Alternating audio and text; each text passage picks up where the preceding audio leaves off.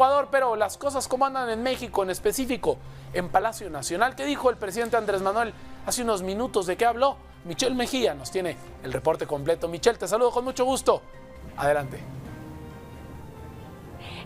Muy buenos días. Esta mañana en su conferencia de prensa el presidente Andrés Manuel López Obrador reveló el quién es quién de los partidos políticos y dio a conocer que Morena sí aceptó donar el 50% de su presupuesto para enfrentar la contingencia por COVID-19 y en contraste el partido Acción Nacional rechazó este planteamiento. En otros temas también se dio a conocer que más de 300 mil personas han su empleo derivado de esta cuarentena por el coronavirus y de acuerdo con las autoridades, más de 216 mil ya no tienen acceso al seguro social. Al respecto, el presidente Andrés Manuel López Obrador hizo un llamado a las empresas que están despidiendo a trabajadores a que rectifiquen. Finalmente comentarles que respecto a la reunión que sostuvo el presidente Andrés Manuel López Obrador con empresarios los días anteriores, dijo que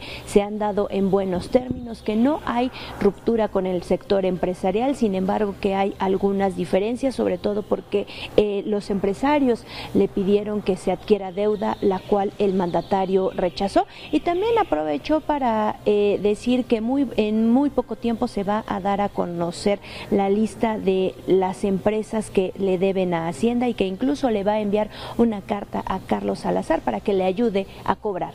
Este es el reporte que yo les tengo hasta el momento y que tengan muy buen día. Muy buen día.